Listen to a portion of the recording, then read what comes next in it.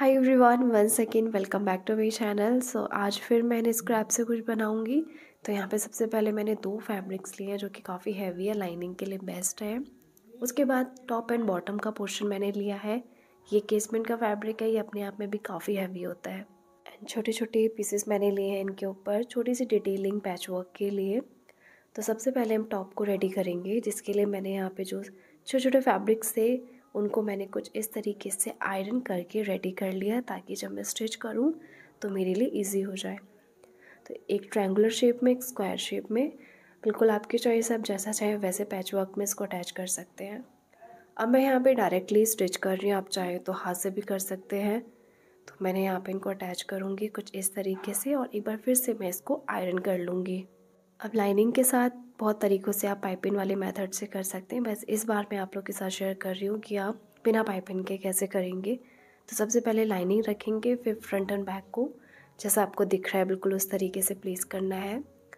उसके बाद इसको हम तीनों साइड से स्टिच करेंगे, ताकि जो फोर्थ साइड है, वहाँ से हम इसको टर्न कर सकें और हमारा जो सीधा पोर्शन है, वो बाहर की तरफ़ आ जाए।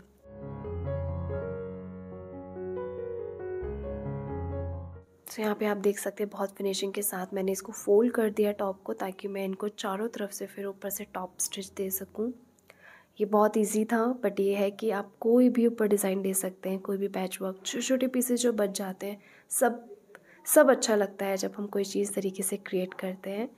तो अब मैं यहाँ पे जो हमारा नॉर्मल हैंड स्टिच है, उसको मैं यहाँ पे करूँगी। आप चाहें तो ये पार्ट पहले भी कर सकते थे, बिना स्टिचिंग से पहले बट क्योंकि मुझे लाइनिंग भी टॉप के साथ अटैच करनी है सो मैंने डिसाइड किया कि मैं इसको इस टाइम पे करूँ। बट इसमें भी मैं बहुत फिनिशिंग से कर रही हूँ ताकि बैक में ये फैब ये जो थ्रेड है, वो ना देखे, सिर्फ़ टॉप टॉप और मिडिल को अटैच कर दे।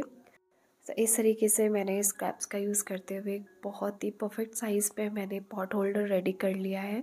आप चाहे तो कोई भी डिज़ाइन डाल सकते हैं, जितने भी छोटे फैब्रिक्स हैं, उन सबका यूज़ कर सकते हैं।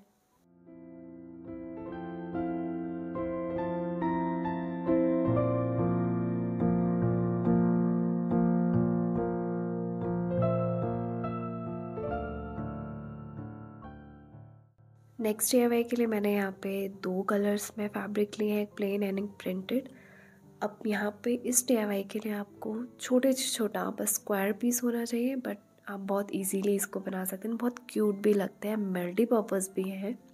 तो यहाँ पे सिंपली मैंने पीस कट कर लिया।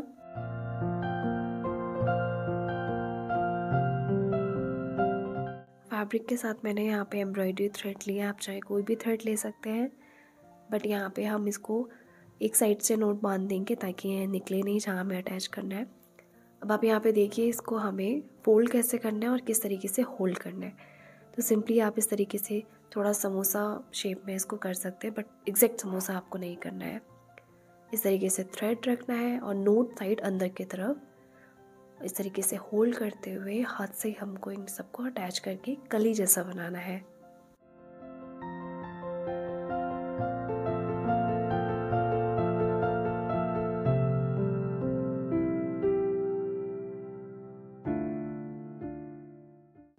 थाना ये बहुत ही ईजी एंड आप इसको थोड़े और बड़े शेप में बनाते हुए बहुत सारी चीज़ें बना सकते हैं, जैसे कि कर्टेन होल्डर्स बना सकते हैं। छोटे छोटे साइज़ में आप अपने हेयर एसेसरीज बना सकते हैं। आप इनको एज आ की चेन में और बहुत सारे तरीक़ों से यूज़ कर सकते हैं। बट मैंने इसको बनाया है अपने बैग के लिए एंड मैं कुछ टाइम के बाद इसको कर्टेन में भी बनाऊँगी। के लिए बस इतना ही। आई होप आपको वीडियो पसंद आई होगी। तो चलिए मिलते हैं नेक्स्ट वीडियो में। तब तक के लिए बाय